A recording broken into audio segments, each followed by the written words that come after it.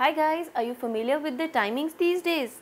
Yes, you must be because as soon as it becomes 7 in the clock, you rush to get up from the bed and get ready for the school, right? So at 7.30, it becomes time for you to get ready and do the breakfast. At 8 o'clock, it's time for you to get off to school. So at 8.30, you must be reaching your school. So at 8.30, you have reached your school. Now at 9 a.m., it's time for you to start studying. So you can see that you have started studying at 9. Now the next is very interesting part which is the time for lunch and the time for lunch is at 12.30 pm.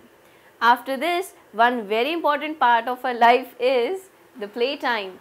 So at 2.30 pm we have the playtime at school. Now at 3 pm it's time for us to get back to home.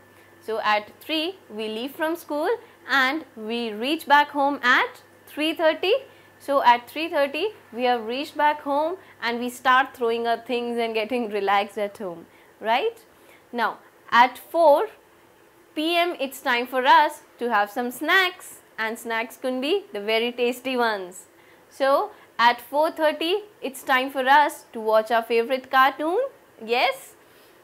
At 5 it's time for us to go out and play and that's with our friends. So at 5 pm we go out in the park and garden around and play. At 6 it's time for us to finish our pending work right. So it's time for study. So at 7 it's time for us to get the dinner. So we do dinner at 7 pm. At 7.30 it will be time for us to spend the time with our family. Yes, we sit with our family and we spend some time with them. At 8 o'clock, it's finally the time to get back to bed and say good night to everyone. So that was about the different times. So we have just discussed the time that means in the clock you can measure time in seconds, minutes and hours. So you can see that when you blink your eyes like this, you do it in seconds. But when you're eating your food, you have to have minutes for that. After that, when you go to school and you start studying, you study for hours unfortunately, but you have to. So, we are going to talk about the seconds, the minutes and hours. Here you can see the watching a movie. It needs the time period of some hours. We can clap our hands in some seconds. For reading a book, we can have some hours. For sleeping, we take some hours. For eating the food, we will take few minutes. To play with our friends, even some hours are not enough, right? And for studying, we take some hours. Now, this was about the time that is the seconds, minutes and hours. Now, we are going to discuss about weeks, days, months and years. Are you familiar with them? you might or might not be but you must be knowing about the calendar right. So what is a calendar?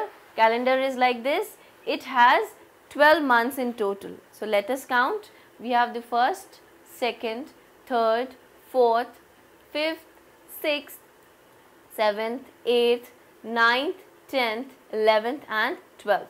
So we have total 12 months in one year. Now those months are January, February, March, April, May, June, July, August, September, October, November and December. So these are the 12 months. Now you can see over here there are some months that have 30 days only and those months are April, June, September and November. There are some months that have 31 days January, March, May, July, August, October and December and February is the shortest month of the year every time.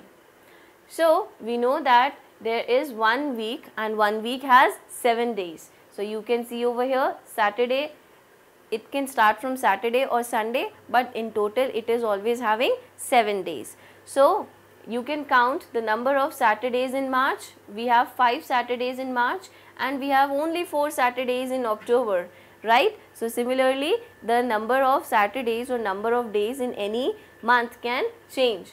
So now we know that one day has 24 hours and one hour has how many minutes? 60 minutes.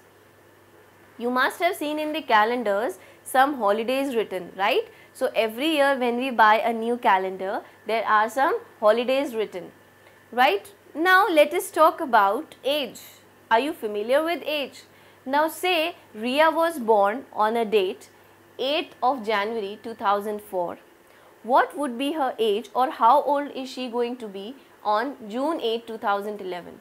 So from 2004 to 2011 we have 1, 2, 3, 4, 5, 6 and 7 years.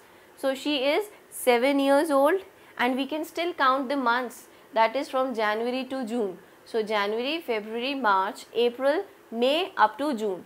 So we have total 5 months. So we can write over here 7 years and 5 months. So we can say that Ria is 7 years and 5 months old.